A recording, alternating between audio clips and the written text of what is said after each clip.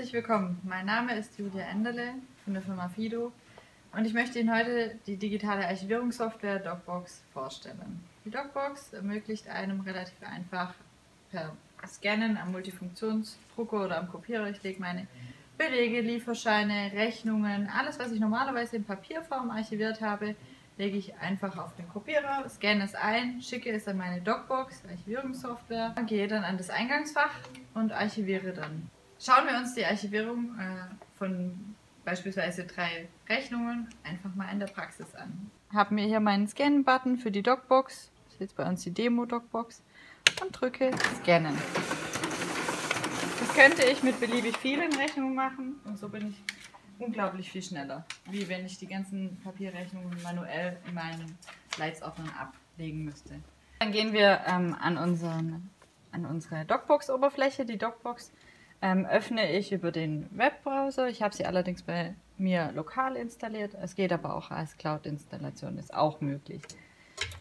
Meine Startseite, das ist das Archiv, was Sie hier sehen. Das heißt, im Archiv landen alle bereits archivierten Dokumente. Hier ist das Eingangsfach. Hier hätte ich Videovorlagen, die Möglichkeit, mir Videovorlagen zu legen. Beispielsweise, wenn ich Rechnungen oder Belege noch einmal kontrollieren möchte. Wenn ich so arbeite, dann würden mir hier meine Videovorlagen angesehen. Äh, ich habe hier die Möglichkeit über die Dropzone, wenn ich auf dem Desktop ein paar Dokumente abgelegt habe, könnte ich über die Dropzone direkt sie hier reinziehen und per Drag and Drop archivieren. Ich habe die Möglichkeit, mir Favoriten zu hinterlegen und Neuigkeiten werden mir eben auch angezeigt. Jetzt gehe ich in mein Eingangsfach. Hier, da wir jetzt in der Demo arbeiten, haben wir hier alle Beispielmitarbeiter angelegt. Normalerweise würde ich nur mein persönliches Eingangsfach sehen. Hier die Zahl in der Klammer dahinter sagt mir, dass in meinem persönlichen Eingangsfach vier neue Dokumente hinterlegt sind.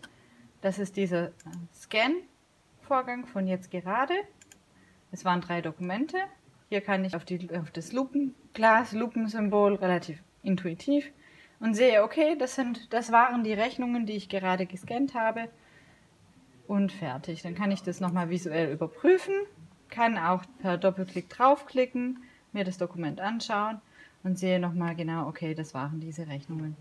Ich habe die Möglichkeit, es zu vergrößern und hier könnte ich jetzt noch weiteres mit den Dokumenten machen. Beispielsweise, ich könnte sie wieder drucken, per E-Mail versenden oder downloaden, markierte Seiten drucken, Dokumente downloaden, Originaldateien öffnen, ich könnte hier, wenn ich die Zusatzmodule, das erkläre ich später, äh, Stempel zum Beispiel mit aufsetzen oder eine Wiedervorlage für das Dokument legen. Außerdem kann ich hier noch Schlagwörter, äh, wenn ich das benutze, könnte ich hier Schlagwörter äh, verwenden.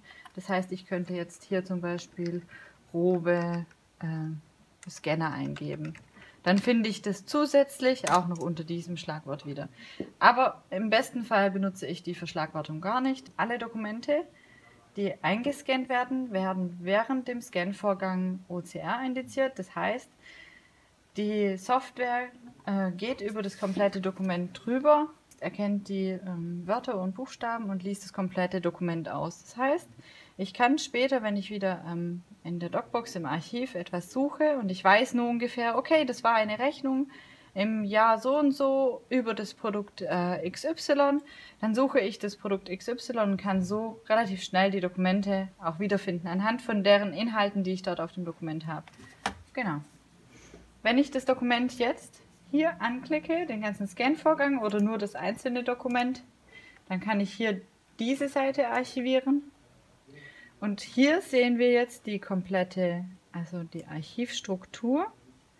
Hier ist hinzuzufügen, dass die komplette Archivstruktur frei definierbar ist. Das heißt, wir übernehmen oder Sie übernehmen entweder Ihre bestehende äh, Struktur, die Sie auch auf den Windows-Ordnern wahrscheinlich verwenden oder die Sie vielleicht auch in Ihrem Papierarchiv verwenden. Meistens wird es ja nach Jahren sortiert und dann ähm, nach Abteilungen oder ähnlich. Es ist alles möglich, es ist frei definierbar. Von dem her könnte ich jetzt sagen, das Dokument, dieses Dokument möchte ich zum Thema Vertrieb archivieren, dann klicke ich es einfach an, öffne den Pfeil, okay, das sind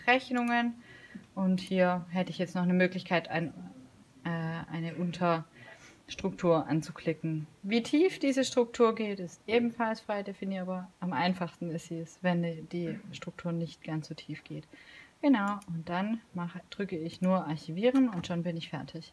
Wenn man sich das Ganze vergleicht mit dem äh, Ablagevorgang von Papierdokumenten, wie lange ich für Papierdokumente brauche, wenn ich so 200 Dokumente einmal alphabetisch in Leitsordner ablegen muss, ich muss sie lochen, ich muss sie einheften, ich muss sie vorher vorsortieren, das alles entfällt. Ich lege einfach nur den kompletten Stapel auf meinen Multifunktionsdrucker und drücke Scannen, Archivieren.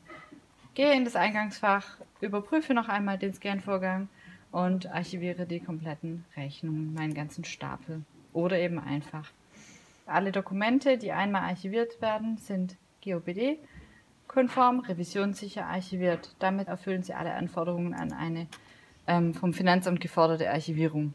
Dann schauen wir uns mal die Suche an. Ich habe jetzt gerade eine Rechnung gescannt. Das war eine Beispielrechnung. Schauen wir mal nach einem Brotherfax. Okay, ich möchte diese Rechnung von diesem Brotherfax haben. Dann gehe ich einfach in das Suchfeld hier oben, gebe ein Brother und bekomme dann alle Rechnungen oder alle Dokumente, die das Wort Brother enthalten. Jetzt könnte ich einfach mal in das erste gehen, weil das ähm, zeitlich ähm, sortiert ist, schaue mir die Vorschau an und erkenne, genau das war das Dokument, das ich gerade eben gescannt habe. Super. Dann könnte ich das Dokument jetzt wieder öffnen, drucken, wie auch immer und weiterverarbeiten. Zum Thema der Installation. Die Installation der Docbox ist Ganz einfach. Wir müssen dafür nicht ähm, vor Ort bei Ihnen sein. Das Ganze funktioniert remote, das heißt, wir ähm, unterstützen Sie da dabei.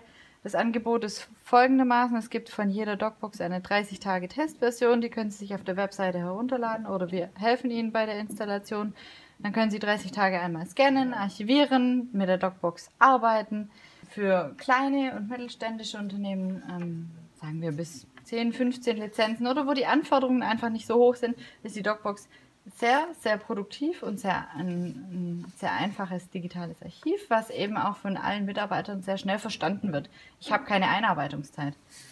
Sondern die Docbox ist einfach wie eine Suchmaschine für all meine Dokumente. So, ich hoffe, ähm, die Demo von der Docbox Archivierungssoftware hat Ihnen gefallen. Wenn Fragen sind, dürfen Sie uns gerne jederzeit anrufen.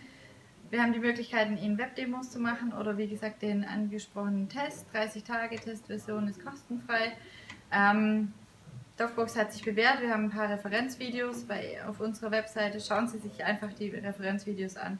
Wir haben noch weitere Lösungen im Portfolio und gerne zeigen wir Ihnen auch diese. Vielen Dank und auf Wiedersehen.